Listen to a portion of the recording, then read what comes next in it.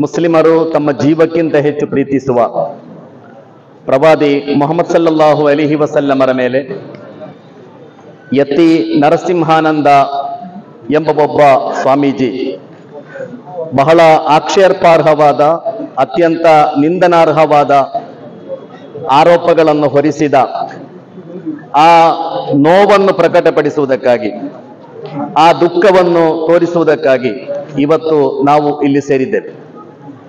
ಪ್ರಭಾದಿ ಮೊಹಮ್ಮದರ ವ್ಯಕ್ತಿತ್ವ, ಅದು ಒಂದು ತೆರೆದ ಪುಸ್ತಕ. ಅವರ ಬದುಕನ್ನು ನಿಮಗೆ ಯಾವ ರೀತಿಯಲ್ಲಿ ಬೇಕಾದರೂ ಅಧ್ಯಯನ ನಡೆಸಬಹುದು ಪ್ರವಾದಿ ಮೊಹಮ್ಮದರ ಬಗ್ಗೆ ಜಗತ್ತಿನ ಬಹಳ ದೊಡ್ಡ ದೊಡ್ಡ ದಾರ್ಶನಿಕರು.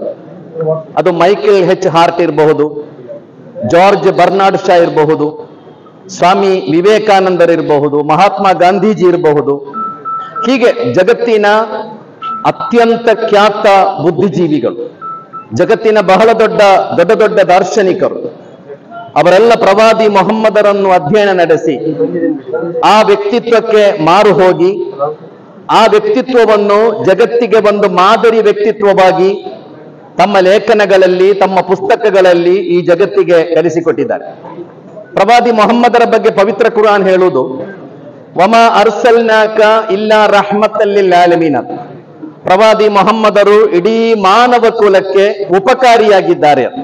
ಅವರು ಮುಸ್ಲಿಂ ಸಮುದಾಯಕ್ಕೆ ಮಾತ್ರ ಉಪಕಾರಿಯಲ್ಲ. ಅವರ ಸಂದೇಶ, ಅವರ ಸ್ವಚ್ಛವಾದ ಬದುಕು, ಅವರ ಆದರ್ಶ, ಅವರ ಮಾರ್ಗದರ್ಶನ. ಅದು ಇಡೀ ಮಾನವ ಕುಲಕ್ಕೆ ಮಾರ್ಗದರ್ಶನ ಅಂತ ಪವಿತ್ರ ಕುರಾನ್ ಹೇಳುತ್ತದೆ. ಆದ್ದರಿಂದ ಪ್ರವಾದಿ ಮೊಹಮ್ಮದರ ಸಂದೇಶಗಳು, ಅವರ ಟೀಚಿಂಗ್ಸ್ ಅದು ಇಡೀ ಮಾನವ ಕುಲಕ್ಕೆ ಉಪಕಾರಿಯಾದದ್ದು ಮತ್ತು ಇಡೀ ಮಾನವ ಕುಲಕ್ಕೆ ಒಳಿತಾಗಿದೆ ಈ ನಿಟ್ಟಿನಲ್ಲಿ ಪ್ರವಾದಿ ಮೊಹಮ್ಮದರ ವ್ಯಕ್ತಿತ್ವ ಬಹಳ ಪವಿತ್ರವಾದ ವ್ಯಕ್ತಿತ್ವ. ನಮ್ಮ ದೇಶದಲ್ಲಿ ಇವತ್ತು ಹೇಟ್ ಸ್ಪೀಚ್ ಆ ಮೂಲಕ ಲೀಡರ್ಸ್ಗಳಾಗುವ ಪ್ರಯತ್ನ ನಡೆಯುತ್ತೆ ನಿಮಗೆ ಲೀಡರ್ ಆಗಬೇಕಾದರೆ, ನಿಮಗೆ ಒಬ್ಬ ದೊಡ್ಡ ವ್ಯಕ್ತಿಯಾಗಬೇಕಾದರೆ ದ್ವೇಷ ಭಾಷಣ ಮಾಡಿದ್ರೆ ಸಾಕು. ಅದು ಇವತ್ತು ನಿಮ್ಮ ಅರ್ಹತೆಯನ್ನು ಸಾಬೀತುಪಡಿಸುತ್ತೆ. ಆದ್ದರಿಂದಲೇ ಈ ನಿಟ್ಟಿನಲ್ಲಿ ಒಬ್ಬ ಸ್ವಾಮೀಜಿ ಎನಿಸಿಕೊಂಡ ವ್ಯಕ್ತಿ, ಒಬ್ಬ ಮಹಾನ್ ಪ್ರವಾದಿಯ ಬಗ್ಗೆ ಏನೂ ತಿಳಿಯದೆ, ಅಥವಾ ಒಬ್ಬ ಮಹಾನ್ ಪ್ರವಾದಿಯ ಬದುಕನ್ನು ಯಾವುದೇ ರೀತಿಯಲ್ಲಿ ಅಧ್ಯಯನ ನಡೆಸದೆ, ಬಹಳ ವಿಚಿತ್ರವಾಗಿ, ಅತ್ಯಂತ ಅಸಹ್ಯವಾಗಿ ಮತ್ತು ಅತ್ಯಂತ ಕ್ರೂರವಾಗಿ ಆ ಮಹಾನ್ ವ್ಯಕ್ತಿತ್ವದ ಮೇಲೆ ಆರೋಪ ಹೊರಿಸುವುದು ಖಂಡಿತವಾಗಿಯೂ ಮಹಾ ಪಾಪದ ಕೆಲಸ ಮತ್ತು ಬಹಳ ದೊಡ್ಡ ದೇಶದ್ರೋಹದ ಕೆಲಸ ಅಂತ ನಾವು ಹೇಳ್ತಾ ಇದ್ದೇವೆ. ಯಾಕೆಂದ್ರೆ ಭಾರತೀಯತೆ ಅಂತ ಒಂದಿದೆ. ಐಡಿಯಾ ಆಫ್ ಇಂಡಿಯಾ ಅಂದರೇನು? ಭಾರತೀಯತೆ ಅಂದರೇನು? ಭಾರತೀಯತೆ ಅಂದರೆ ಎಲ್ಲ ದೇಶದ ಎಲ್ಲ ಧರ್ಮಗಳನ್ನು ಗೌರವಿಸು. ಐಡಿಯಾ ಆಫ್ ಇಂಡಿಯಾ ಅಂದರೆ ಈ ದೇಶದ ಎಲ್ಲಾ ಧರ್ಮಗಳನ್ನು ಎಲ್ಲರೂ ಗೌರವಿಸು.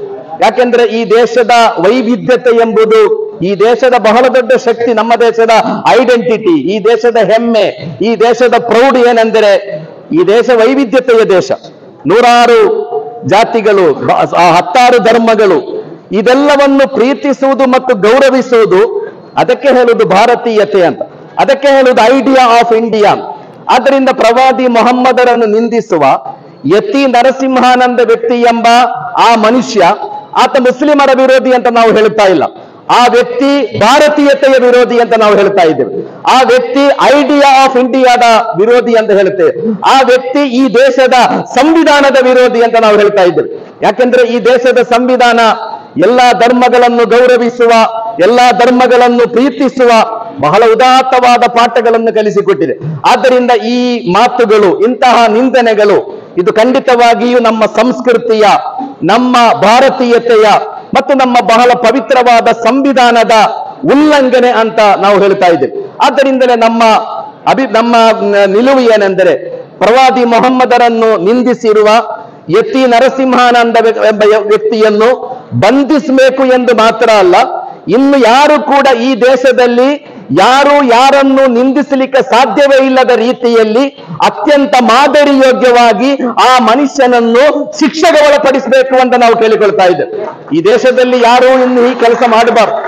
ಯಾರಿಗೂ ಧೈರ್ಯ ಬರಬಾರದು. ಯಾರೇ ಈ ದೇಶದಲ್ಲಿ ಯಾವುದೇ ಒಂದು ಧರ್ಮವನ್ನು, ಧಾರ್ಮಿಕ ನಾಯಕರುಗಳನ್ನು, ದಾರ್ಶನಿಕರನ್ನು, ಮಹಾಪುರುಷರುಗಳನ್ನು ನಿಂದಿಸಲಿಕ್ಕೆ ಯಾರಿಗೂ ಧೈರ್ಯ ಬಾರದ ರೀತಿಯಲ್ಲಿ ಈ ವ್ಯಕ್ತಿಯನ್ನು ಅತ್ಯಂತ ಮಾದರಿಯೋಗ್ಯವಾಗಿ ಸರ್ಕಾರ ಶಿಕ್ಷಿಸಬೇಕು ಅಂತ ನಾವು ಈ ಸಂದರ್ಭದಲ್ಲಿ ಮನವಿ ಸಲ್ಲಿಸ್ತಾ ಇದ್ದೇವೆ.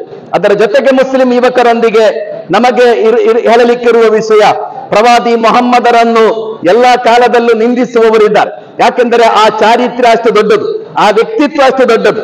ಆದ್ದರಿಂದ ಪ್ರವಾದಿಯವರನ್ನು ನಿಂದಿಸುವಾಗ ಮುಸ್ಲಿಂ ಯುವಕರು ಉದ್ರೇಗಕ್ಕೆ ಒಳಗಾಗಬಾರದು. ಯಾವುದೇ ರೀತಿಯಲ್ಲಿ ಯಾವುದೇ ರೀತಿಯ ಕೆಟ್ಟ ಕೆಲಸಗಳನ್ನು ಮಾಡಬಾರದು. ಉದ್ರೇಕ, ಉದ್ವೇಗ, ಇದು ಖಂಡಿತ ನಮ್ಮ ಸಂಸ್ಕಾರ ಅಲ್ಲ.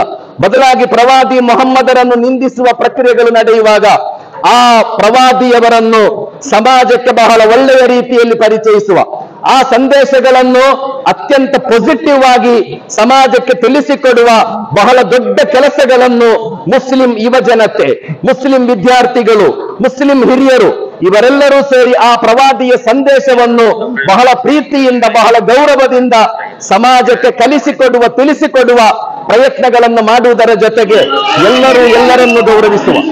ಎಲ್ಲರೂ ಎಲ್ಲರನ್ನು ಪ್ರೀತಿಸುವ, ಎಲ್ಲ ಧರ್ಮದವರು ಬಹಳ ಗೌರವದೊಂದಿಗೆ, ಬಹಳ ಪ್ರೀತಿಯೊಂದಿಗೆ ಬದುಕುವ ಒಂದು ಸಮಾಜದ ನಿರ್ಮಾಣಕ್ಕಾಗಿ ನಾವೆಲ್ಲ ನಿರಂತರವಾಗಿ ಕೆಲಸ ಮಾಡಬೇಕಾಗಿದೆ ಎಂದು ವಿನಂತಿಸುತ್ತಾ ನನ್ನ ಮಾತುಗಳನ್ನು ಮುಗಿಸ್ತಾ ಇದ್ದೇನೆ. ಅಸ್ಸಲಾಮು ಅಲೈಕುಂ ನಿಮ್ಮೆಲ್ಲರ ಮೇಲೆ ದೇವನ ಶಾಂತಿ ಮತ್ತು ಕರುಣೆ.